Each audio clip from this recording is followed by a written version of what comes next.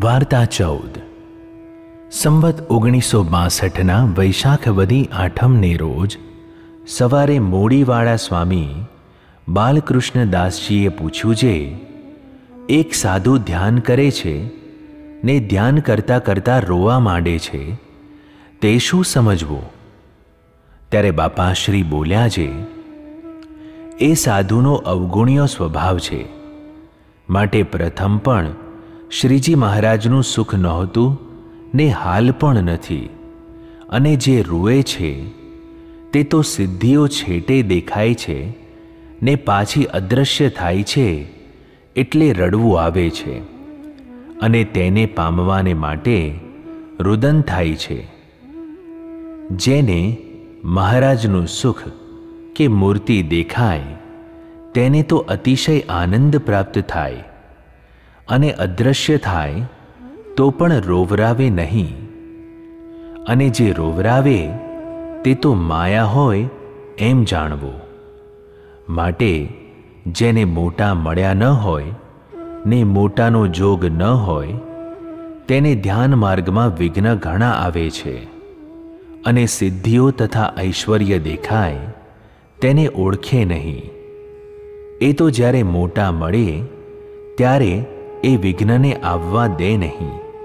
ને જ્ઞાન આપીને, પાત્ર કરીને, ધ્યાન કરાવીને મૂર્તિ સિદ્ધ કરાવે. માટે પાત્ર થવાય એવા મોટાનો જોગ કરવો. આ લોકમાં સાધન દશાવાળા ભક્ત ઓળખાય, પણ સિદ્ધ મુક્તને ઓળખવા તે કઠણ છે. કોની પેઠે? તો જેમ એક તો સદાયનો બહુ જ ધનાઢ્ય હોય અને તેનો ખજાનો ભરેલો હોય, ને કાંઈ ઉદ્યમ પણ ન કરતો હોય, તેથી બહાર એનો ઉદ્ઘોષ ન જણાય.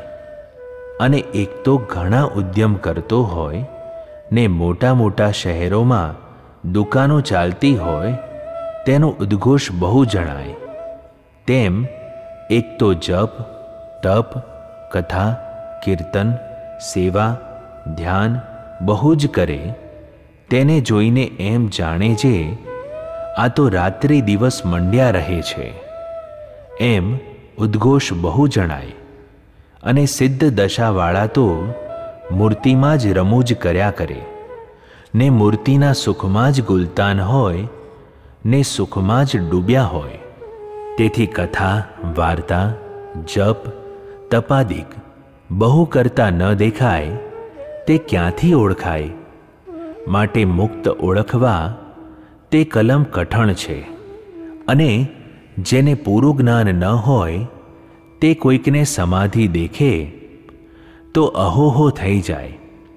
પણ તે તો વિષયરૂપી વાયુ લાગે, તો હુલવાઈ જાય. વાસના છે, તે સમાધિમાં બ્રહ્મનું સુખ આવતું હોય, ત્યાંથી પાછો ખેંચી લાવે એવી છે. અને સમાધિમાં સકામ ભાવ છે ને તેમાં નુકસાન છે.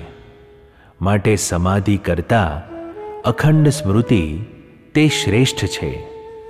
અને એથી મૂર્તિનો સાક્ષાત્કાર થાય તે શ્રેષ્ઠ છે.